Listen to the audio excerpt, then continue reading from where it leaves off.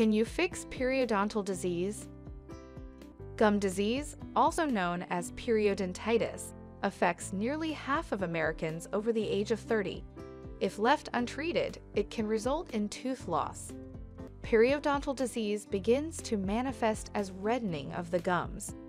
They swell and bleed easily when brushing or spontaneously.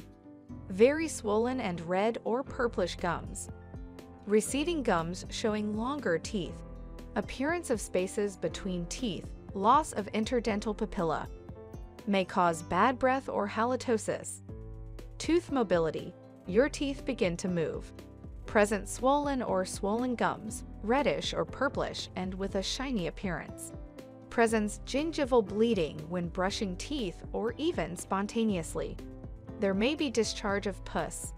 For more information, please watch out full video by clicking link in description.